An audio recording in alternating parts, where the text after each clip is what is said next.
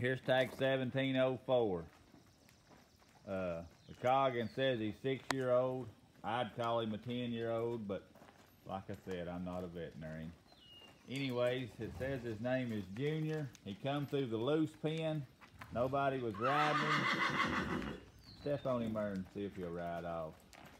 I don't think he's broke, but maybe in a rode some. He's a good looking horse. Maybe he's been rode some and he just bullied somebody. Don't act like he knows much about your bridle. Well, he riding off there. He just ain't broke. You can get on there and ride him, but he don't know nothing about turning or nothing. He's 15 hands. He's real gentle. Like I say, some trainer wants to take him home, work with him, probably make you a nice horse. A lot of shape, good legs, good feet, and good conformation. Price on him's 800. Deadline's Monday.